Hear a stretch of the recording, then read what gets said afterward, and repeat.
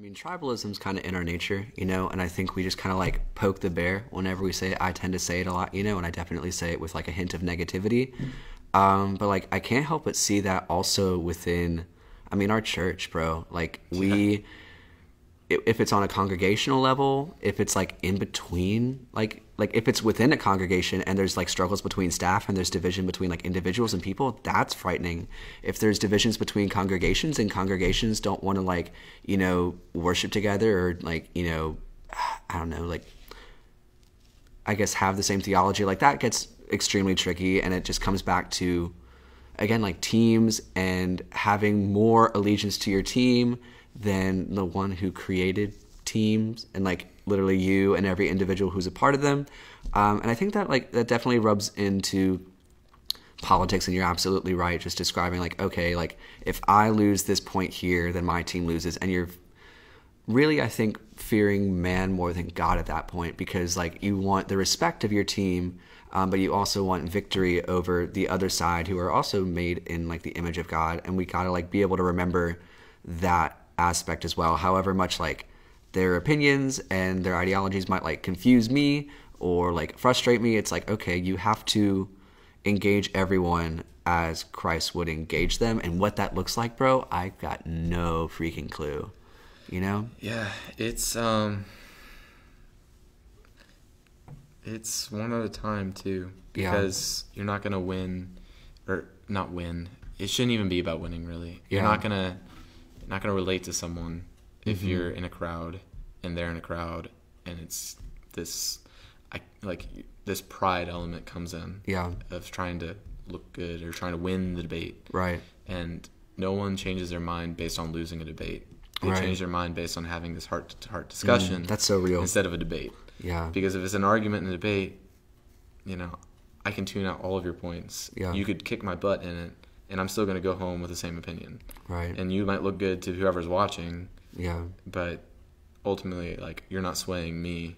exactly Um, and I think if we're trying to make a difference in the world, it's just through those individual relationships of, hey, this is like how I feel about this. Yeah. I see where you're coming from here. Mhm. This is why I feel that way. And then praying about it. yeah And then, you know, if they come to see a different way than you do, yeah that's awesome because God gave them a different insight than you. which is which is like super slow and i think that's another thing that we struggle with that i struggle with is just like personal relationships are hard and they're very slow moving. They move at like god's pace and not mine. And when they move at mine then they tend to like fall apart usually.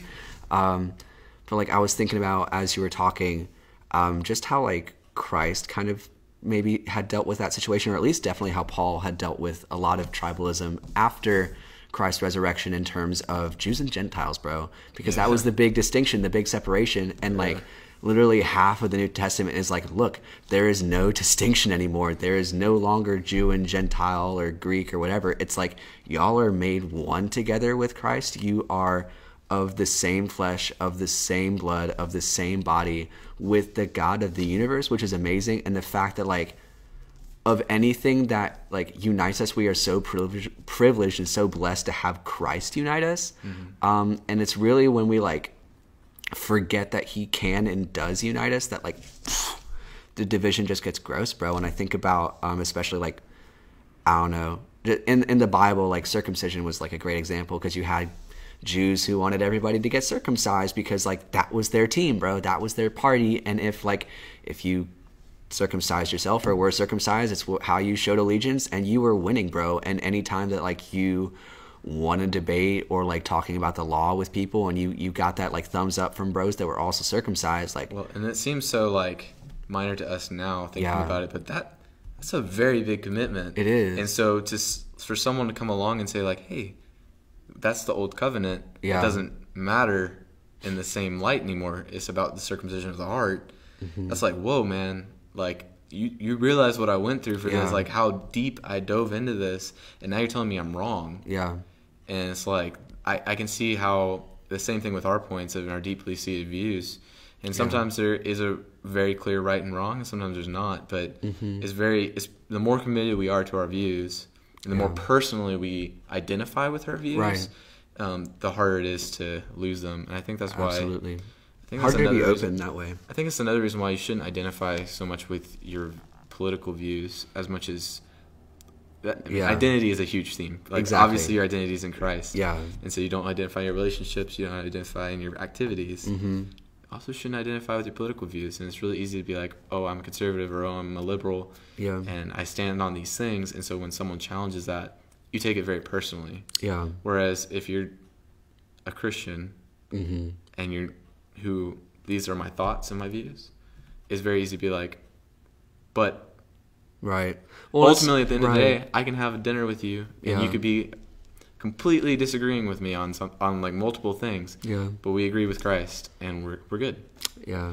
And it's so interesting to me that, I mean, I might be short sighted on this, but I think Christianity is unique in that aspect where we do have um, unity as a core value um, and unity amongst really like literally every tribe and nation and tongue. Um, and that's something that kind of gets like idealized in politics, idealized at least like in the American dream, we're like a melting pot, so to speak.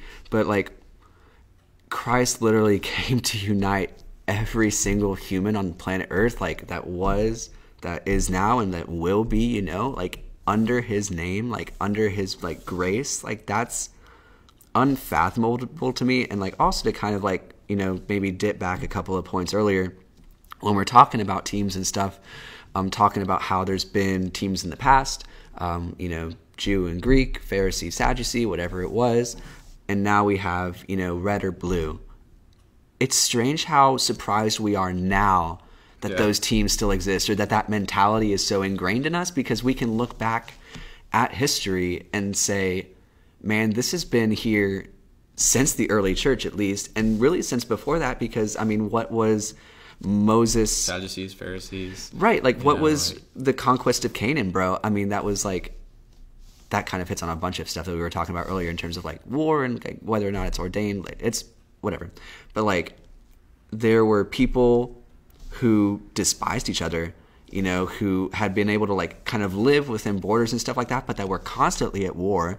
The Old Testament is just like war, peace, war, peace, war, peace, and that's really like up until like maybe the most recent history. It's like war's been a common thing.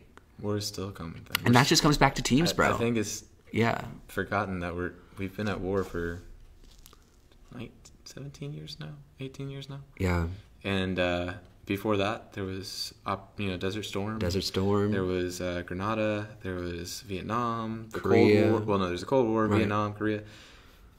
You know the Proverbs are talking about, or is it Proverbs? No, or is it Christ talking about? There's always going to be war and rumors of war. yeah. Like And yeah, when he's talking about the it. coming date, uh, we can we can look it up in a minute. Where I don't want to misquote it, but uh, there's definitely a precedent that there will always be that until the world is, re- you know, Christ returns and makes it new because the world's a broken world we're living in right now. Yeah, I think it's something along the lines of um, like, oh, here you go, Matthew twenty four, six, I think it is. I want to say Proverbs because it sounds so much like a proverb. I feel. I mean, he probably could be quoting it. Um, and you will hear of wars and rumors of wars. See that you are not alarmed, for this must take place, but the end is not yet. So when he's talking about like the end times, it's like pretty much the same thing we've been saying. Is like, hey, don't be surprised when there's war, when there's division. Like you will have trouble in this world because like you're still like stained by sin and brokenness. And as much as like I have come to redeem you, there are people like Christ prophesied. Like people are going to reject that message, and they are still rejecting it, which like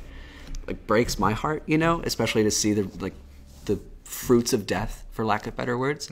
Um, but man, yeah, like it's it's strange how surprised we are, um, but not necessarily how heartbroken we are when that kind of um, becomes a situation.